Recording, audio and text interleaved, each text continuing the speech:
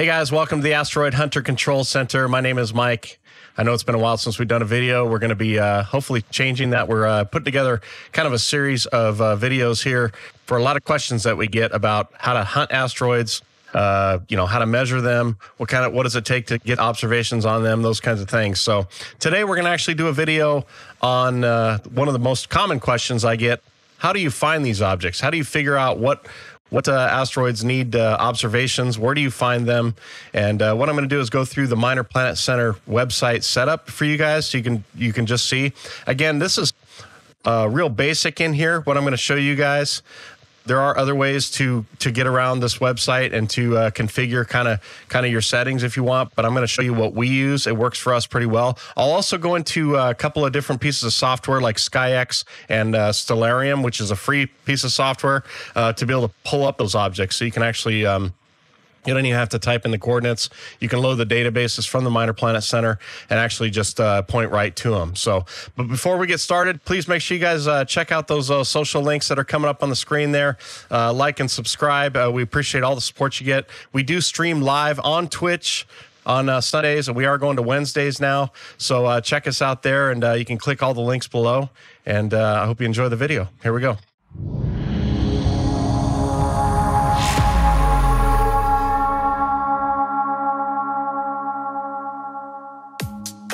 Okay, here we are. We're at the Minor, minorplanetcenter.net website.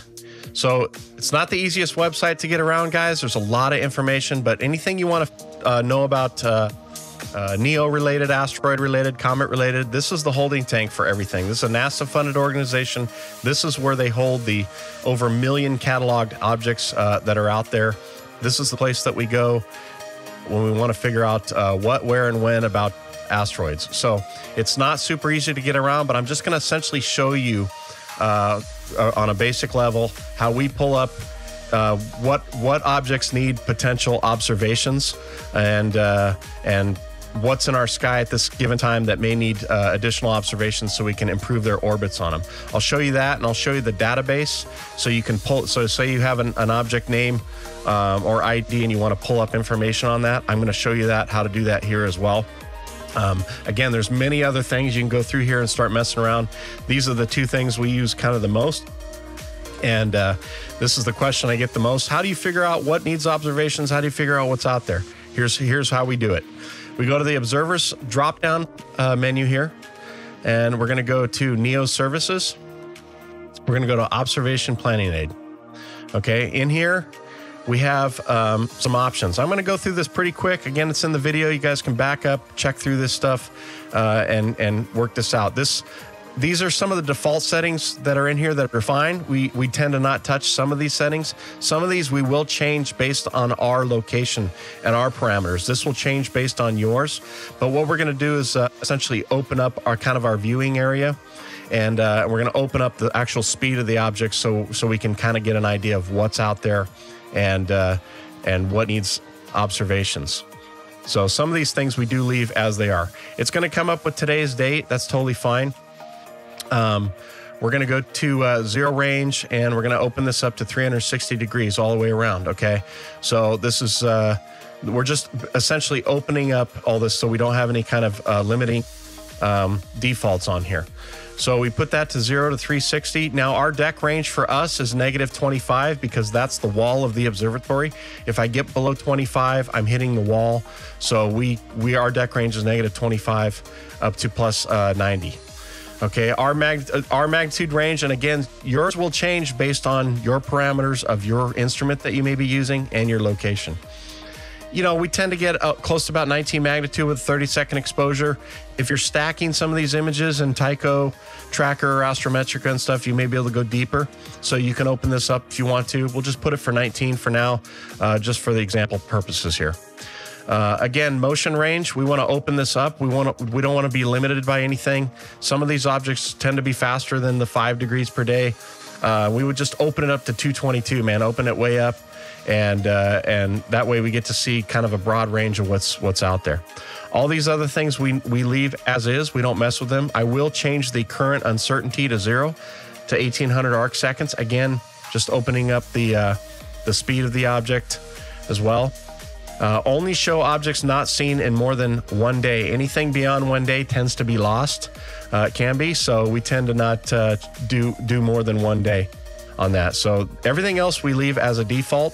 Come down here, make sure all these boxes are checked. They they should be defaulted uh, checked. We will change the sort selected objects uncertainty in decreasing order, and uh, we're going to basically produce the list. And it's going to come up with a list here. I wish there was a select all button at the top of this. Unfortunately, there's not. You have to go through and physically start uh, checking all of these boxes. Okay. And I'll only check a few of these just for our example purposes. There's a whole bunch more to check. I could spend, you know, another five minutes doing that. I won't. Uh, this is good enough for for just the example of this. So, but you can see there's quite a few objects that come up on the list. Uh, and you can see, and it, and it gives some of the information: their Amor, their fading, their Apollo. It's it's telling me what their um, actual um, orbits are, their orbit types, and what's their fading. So they're going away from us at this point. Potentially, potentially they are. Just uh, gives you some information here on. So we hit the get ephemeris. And uh, remember, we're in uncertainty from decreasing order. So the top being the most uncertain. And then as the list goes down, it becomes more certain because there becomes more observations on them. So right off the top, these tend to be the, the ones right at the top is these ones that are flagged as virtual impactors. Don't freak out. Very common for uh, objects that have very few observations on them. This object could have potentially, you know, 10, 12, 15, maybe less observations on it. Uh, and it could be from 10, 15 years ago, 10 years ago. And uh, it was kind of last time this thing was seen. But based on the few observations they had, they they think you know it's possible that uh, it could be an impactor. But what ends up happening is, uh, and even says on their website, you know, it is normal that as additional observations become available, objects will disappear from this from this uh, from the virtual impact uh, designation. So, not uncommon um, to see that. It's it's it's pretty common as well. But as I said, as as these objects, if we can pick these objects up, find them, get more observations, then we can get more of an idea of what the orbit is uh, and where they're where they're heading, and uh, and then they would come off this list. So what I tend to do is I start the, the information's all here of, of these objects. So what I tend to do is I'm looking at magnitude, the V number here. I'm looking at sky motion, the speed of the object. And then I'm looking at further observations where it says useful for orbital improvement. So these are the things that are that I'm that I'm looking for is is those few things. I already put in my Dec my Dec range, my RA range, so I know that uh, it's going to be pretty much well within my my viewing site. But you start going through here and just kind of making a list of what you want to uh, maybe um, take observations on. Now, some of these objects have have gotten more and more observations as the weeks have gone on, and uh, they don't need orbital improvement. You may see this and it says, you know, we're looking at further. Do, do you need further observations? It's not necessary for this month. So this object doesn't really need any further observations. Uh, can you take observations? Absolutely. I'm not going to discourage anybody from doing that. So, um, but what we're looking at is we want to look at stuff that says useful for orbital improvement, and uh, we want to look at things that are well within our uh, brightness range uh, and our speed uh, ability to be able to capture based on our actual um, equipment that we have.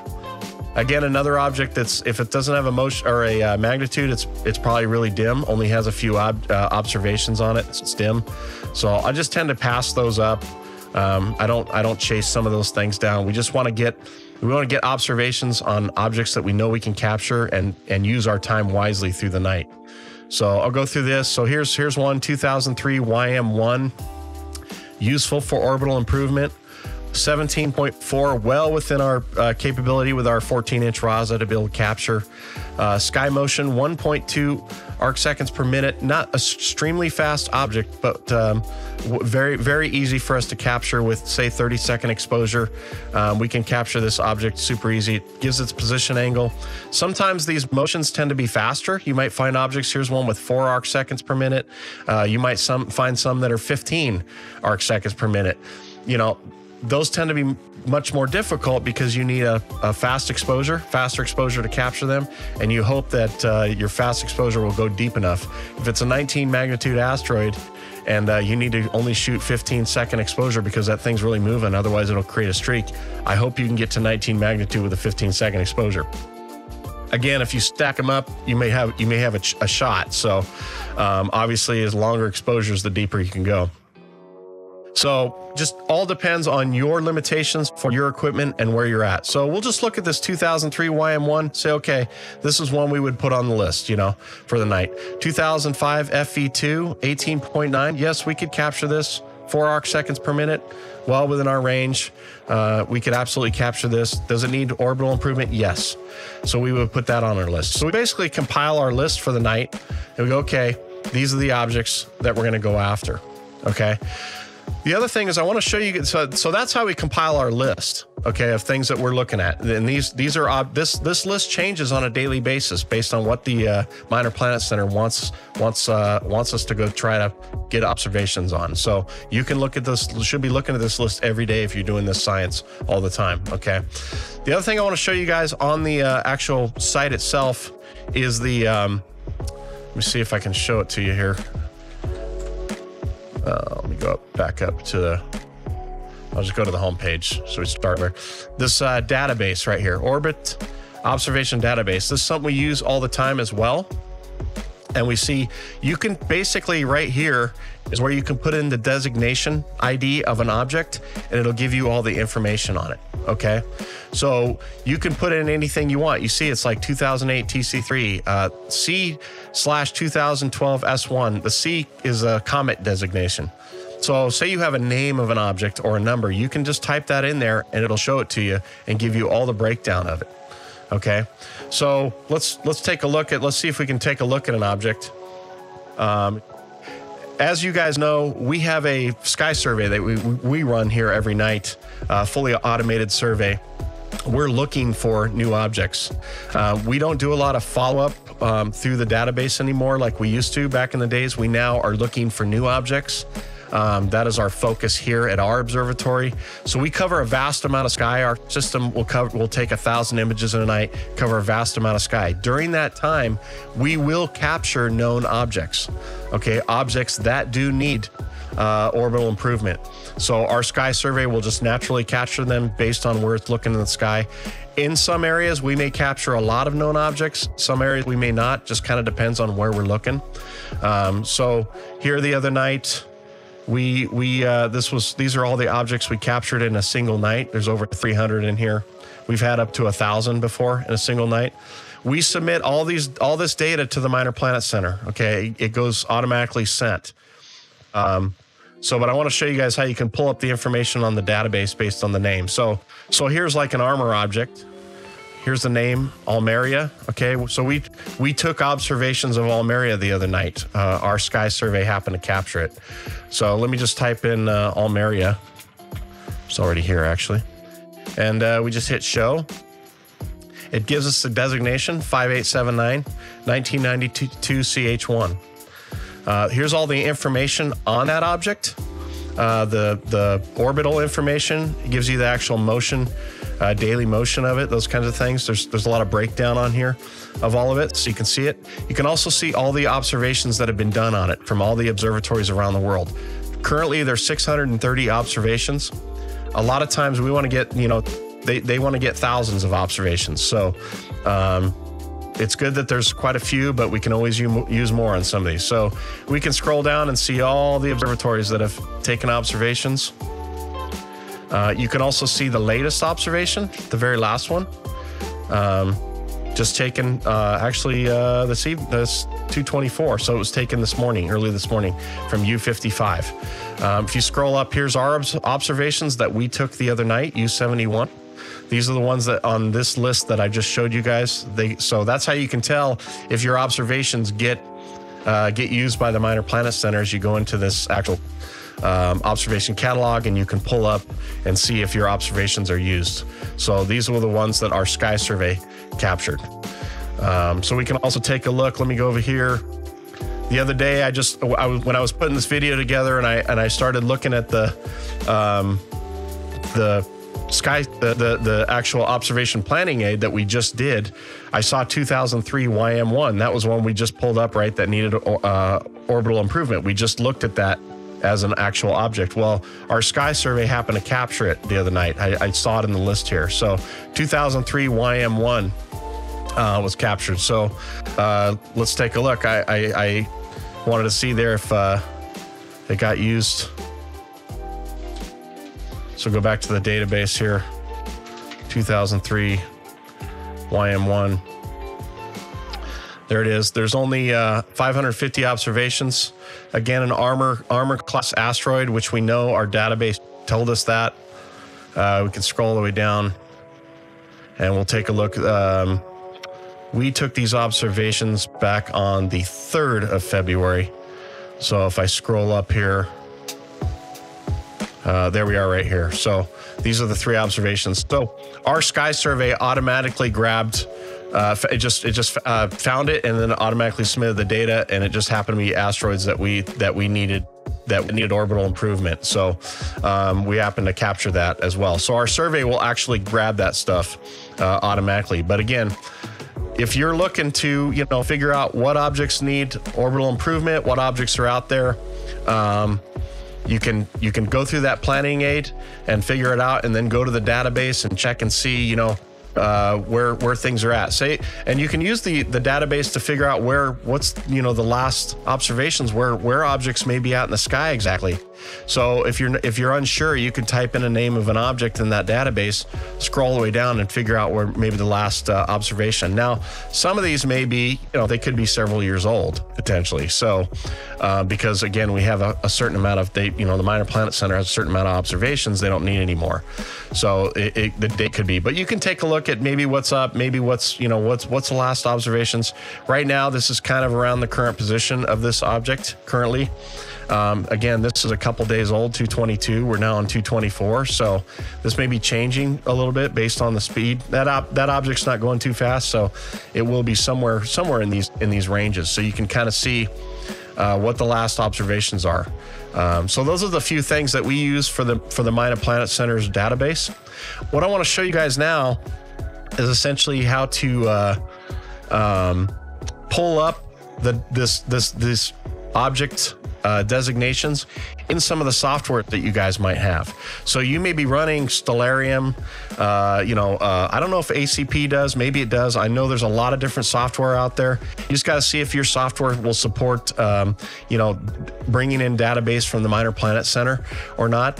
Um, that's kind of the most important thing. So I'll show you today just SkyX, and I'm going to show you uh, Stellarium. Those are just the two. We use SkyX all the time. Um, so I'll show you those two things. But again, I know there's a lot of other software out there. You just have to kind of do some investigating on the one you're using and see if it'll pull up the Minor Planet Center database. If it does, then all you have to do is in your search for is just type in the designation of the object. And if it's pulling in the data from the Minor Planet Center that gets updated every day, it'll it'll point you right to the objects. Stellarium, you can do that. You can pull in the Minor Planet Center database every day, type in the designation, and you can slew right to the object and start imaging.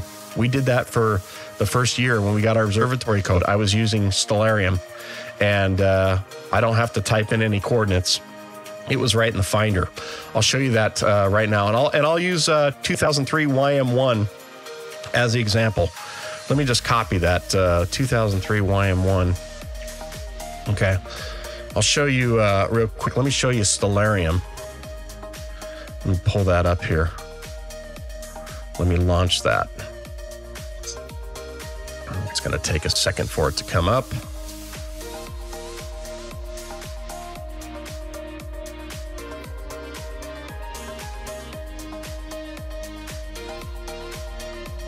Okay, Stellarium is launched here. So um, I will show you guys how to pull in the database. I'm not going to do it because I've already done it.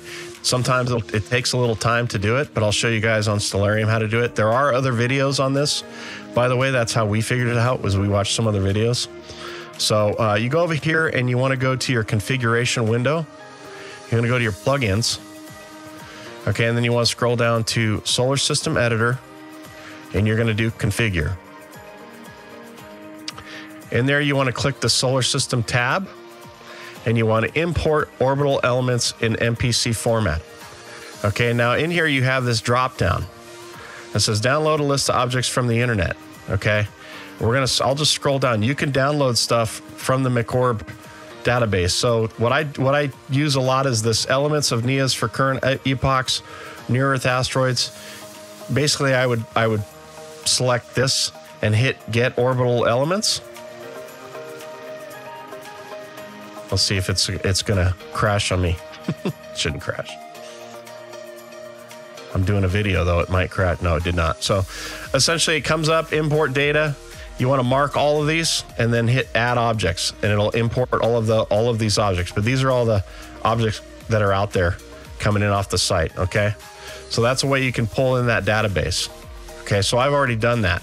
So we'll just see once that once that database is pulled in, you go to your little search window and we're just going to type in 2003 YM1, right? And look, it comes up. It gives me the number. It comes up as the uh, as its object designation. Now, right now it's during the day, so it's below the horizon. Okay, so that's why. But took me right to it, and it gives all the information on it here, and shows its position. So I could literally just slew right to this object and start imaging. So here's an object that needs orbital improvement, needs actual observations on. I pulled it in right on the catalog on Stellarium. I searched it, went right to it. Okay. Really easy, right, guys? I mean, your, your software will do this for you a lot of times. Sometimes they're not in there and you got to put in the actual coordinates, uh, and that's okay. That's just part of it. So let me show you the um, SkyX version on how to do this. Uh, those of you may be using SkyX. Uh, the big thing is I'll show you how to import the um, uh, database from the Minor Planet Center. You go to this uh, input, um, solar system bodies, and right here is the database. Okay. Now, if you click this, you want to click this button, this Minor Planet Center button. Let me pull this over to you guys, and it takes you right here. And generally, I what I do is download the zipped version of this, the MPCORB.dat. This is the one that you want to download. So you just click that and it's going to automatically download it to your drive. You're going to want to unzip it. Okay. And uh, you're going to choose it. Here, here it is unzipped on my drive. This is today's date, 224. You want to make sure you have the latest one. And you just hit import and it's going to import this uh, database. Now there's there's a million objects here that's going to import. It won't take too long, so it's importing. So um, our system's really fast. We have a crazy 3950X Ryzen with 128 gigs of RAM. So your system may uh, may take longer to do this, uh, just based on what you have. So don't be afraid if it does. Just just let it run. You want to update this database on a daily basis, guys. Okay. Remember what I said is observations are coming in every day, right? They're coming in every night from observatories around the world. So you want to get the latest location you need to import the latest database. My system automatically goes to the Minor Planet Center every day and, and downloads this database automatically. So you have to do that before you do anything. Put in the correct the, the latest database. Otherwise, you're going to be looking at objects that you know. If the database is a month old, you're not going to find the objects because it's going to be searching an area that that's not there. So, uh, for so let's search this up. Let's find this for SkyX. Uh, you want to put MPL in there before you before you type it in. Um, that's how you pull up actual asteroid designations in SkyX. It has to be MPL and then the designation. You hit find. Now, right now it says 2003 YM1. It's dark darkened out because it's below the horizon. So let me. Uh, there's the object right there. Okay, there's 2003 YM1. Again, there's its location below the horizon. Uh, when it's above the horizon, this will actually be a different color. I think it'll be white or something um, and it'll point you right to it. But uh, but there it is. That's really it, guys. Really easy. You can go through, pull up the information um, on the Minor Planet Center's website, and uh, and then put in your parameters in there. You can search for what's what's up there.